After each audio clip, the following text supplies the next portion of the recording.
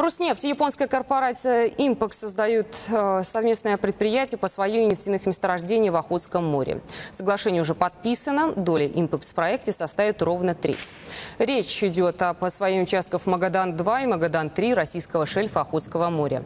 Запасы нефти там оценивают примерно в 3,4 миллиарда баррелей. Нефтяные компании договорились, что японская сторона профинансирует геолого-разведочные работы, возместит Роснефти то, что она уже потратила на освоение лицензионных участков а также треть сбора, уплаченного при получении лицензии.